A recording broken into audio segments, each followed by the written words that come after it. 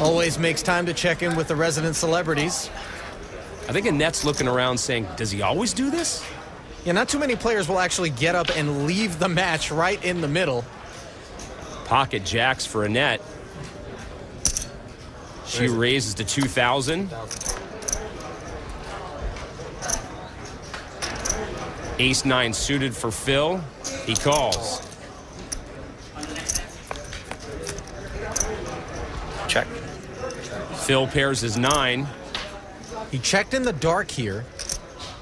One overcard to Oberstad's jacks, but she doesn't want to check and cede control of the pot here. She bets 2,500. Hellmuth has a pretty strong hand. Just going to call, though, because you hate to check raise and get three bet. Then you got to release. Annette adds an open-ended straight draw. Not a bad turn card for her. Check, check.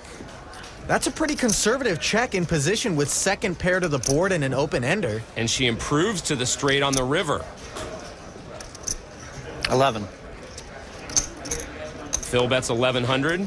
Super small defensive bet from Phil Hellmuth here. I'm all in.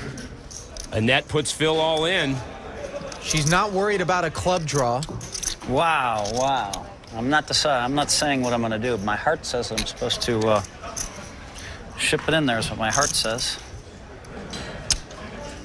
I mean, you already hit a two-outer on me. What'd you hit this time? Runner, runner, or some BS?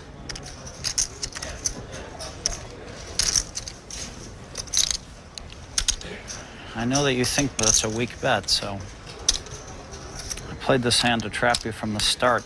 What'd you do? You just got lucky again? I'm that's just so sick. You're just lucky that the board comes where you can even make a bluff? I mean, wh- what is this? You're so lucky this hand, one way or the other. Either to be able to make a bluff or to have hit some weird thing. Makes me sick.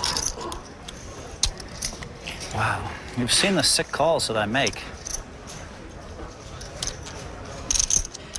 You know I can't be bluffing.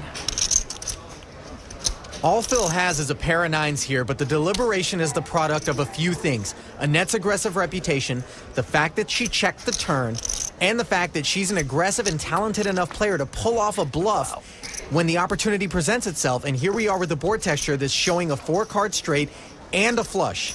What do you have, like ace seven? I, I can't even, it's hard for me to imagine a hand I could beat. You might have like five, six, or some crazy thing.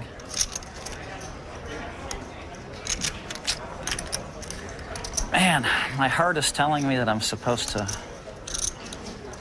put the money in.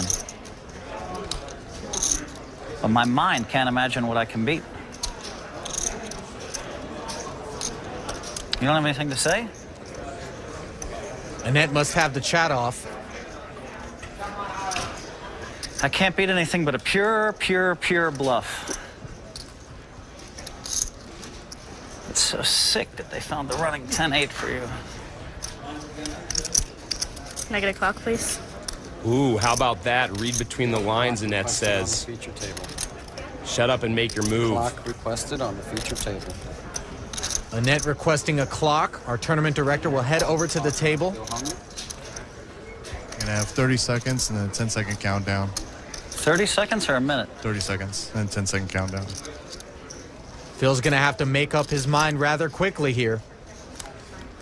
Calling a clock can sometimes raise your opponent's suspicions, too. Might look more like a bluff. Gus Hansen coming in, wanting to see what all the fuss is about. Wow. It was one heck of a bluff, Annette.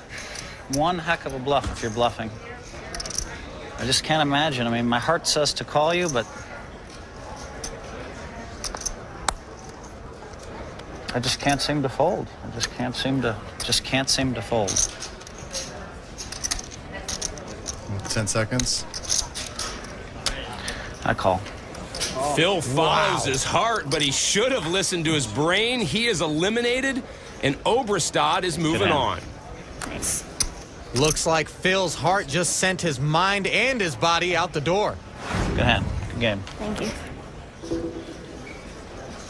What happened there? Annette administers a card playing and psychological clinic.